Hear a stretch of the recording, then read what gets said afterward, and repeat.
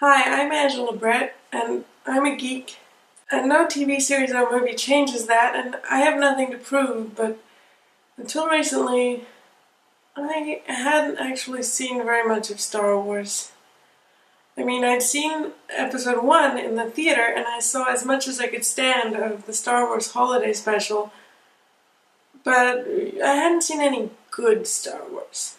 And uh, several years ago, I had the chance to see all three original movies in the CERN Council Chamber, but instead of watching them, I thought, well, there are not many people my age who haven't seen it, and I should do something with this unique situation. I shouldn't just give away my Star Wars virginity so easily.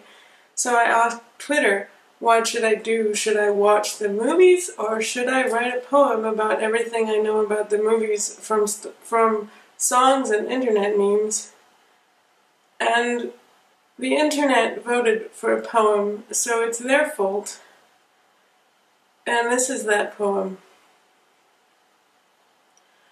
Long ago, in a galaxy far, far away, there was light, there was dark, there were no shades of grey, and a war was beginning, and stars were being made, though I don't know their names or the roles that they played. I know some were stormtroopers, Ewoks and Wookiees, Jedi Knights, Padawans, Monsters and Rookies. There's Darth Vader, C-3PO, R2-D2, but Einstein couldn't name them, so don't expect me to. There was Chewie and Yoda, the OSV talker, Han Solo and Leia, of course, Luke Skywalker. There were pod racers, um, Falcons and Starships Deluxe, and cruisers and land speeders. That and five bucks will get you a Death Star. It looks like a moon but it's some kind of space station dealing out doom. You would think it would wipe out the good guys, but nope. For some reason, this one's a cinch to blow up. I digress. There's a thing called the Force Luke must use. For the good side or bad, he's the one who must choose. Side note, midichlorians, what the Force goes on, are Force mitochondria, some kind of boson. So may it be with you, it's stronger in this one, whose lack of faith hints that there's something amiss. But I think Obi-Wan puts him on the right track. That's a guess. I don't know who he is. Don't attack. I'm a little unsure how the plot goes from there, but it's not like I'm bumbling around unawares. I know what a mind trick or lightsaber's for, and I know that they're not the droids I'm looking for, if they sleep in a tauntaun, then uh, someone won't freeze. And for Palpatine's sake, Wookiee's spelt with two E's.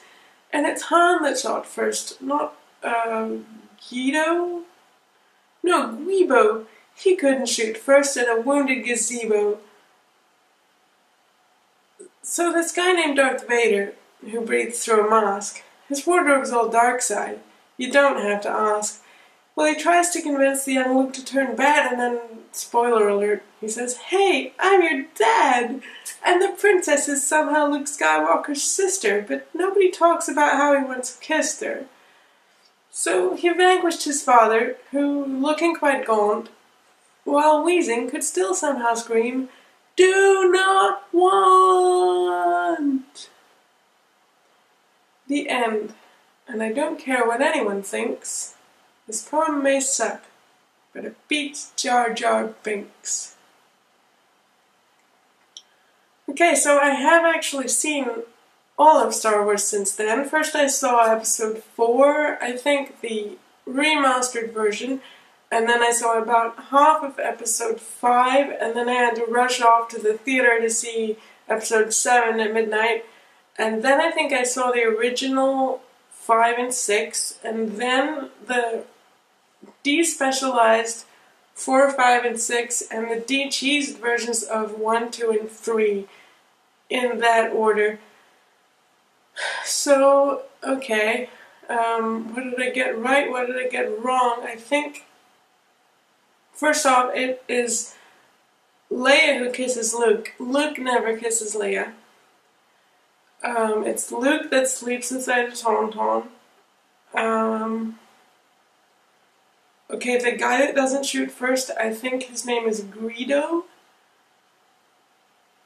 Uh, everything else is pretty much accurate, I think.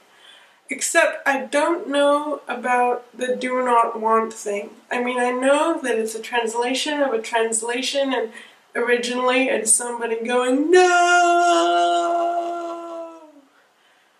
But I watched the, uh, this is in episode 3 I think, and I watched the de-cheesed versions of 1, 2, and 3, and apparently that, that scene is cheese, so I never saw that.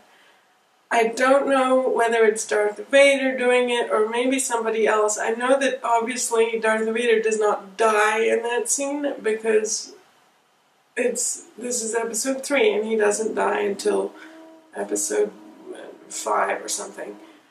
So, yeah. Apart from that, I think that's everything.